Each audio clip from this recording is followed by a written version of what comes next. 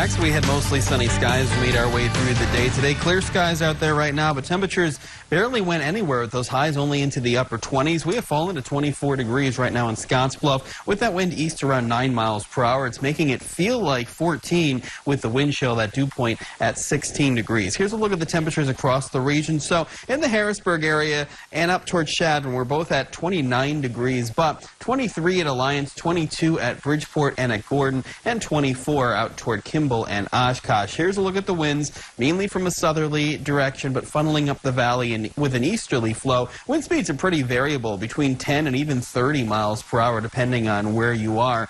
Now, here's a look at the weather alerts across the region. So if you're west of I-25, that's the only alert we have, a high wind warning that does go from uh, tomorrow at 5 a.m. through Friday at 11 a.m. Watch out traveling in that direction because of the strong winds. But other than that, we do have some clouds from Scottsbluff and points off to the north, and clear skies along the I-80 corridor because we got that warm front draped over us. That is the beginning of warm air. We already saw the wind flipping around to a southerly direction. We were on the cool side of this high pressure system for the day today. We had that strong northerly flow. That's moved into the Midwest, uh, Northeast, getting a lot of rain and some snow from this system. Another system will drag its cold front across our viewing area, but we should stay mainly dry. So we're going to be in the warm sector for one day. Lots of sunshine, a southerly wind until that cold front gets here. That will be uh, as we make our way through the late evening or early overnight Thursday into Friday. And then the wind flips around to more of a northerly direction. Most of the snow stays off to the north from this one. And then you're going to see up and down temperatures on the map. We will have these high pressure systems once again uh, flipping the wind direction. So we're back to a southerly wind for the weekend and more sunshine. So we will warm up. So here's a look at the skycast.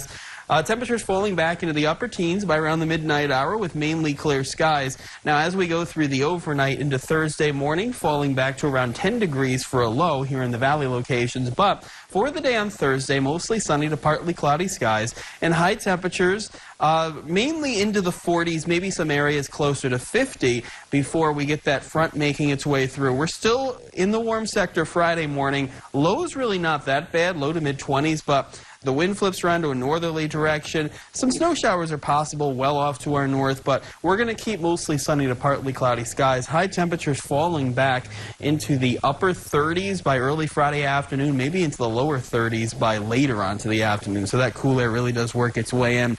So for the day tomorrow, lots of sunshine out there, dry into the southeast, warm from here to the Mexican border, just some thunderstorms into Texas. But this next system mainly is going to produce a lot of moisture along the Rocky Mountain states. It'll dry out before it gets here because the jet streams off to our north. And uh, we'll just continue to stay dry, just up and down temperatures through most of the week. So we're at 47 tomorrow and 39 on Friday. Lots of sunshine. Windy conditions for Friday, 45 on Saturday. Mostly sunny skies turn partly cloudy by Sunday, a high of 47. And then upper 30s Monday to Tuesday. But Sunny to mostly sunny skies. The precipitation chance has fallen to 10% on Monday, and we've taken off the snow shower chance. So it looks like dry conditions, lots of sunshine through Wednesday of next week with a high of 42. Angel? Thanks, Justin. This is the busiest time of the year for the United States Postal Service, but help may be arriving in the form of new sorting machines.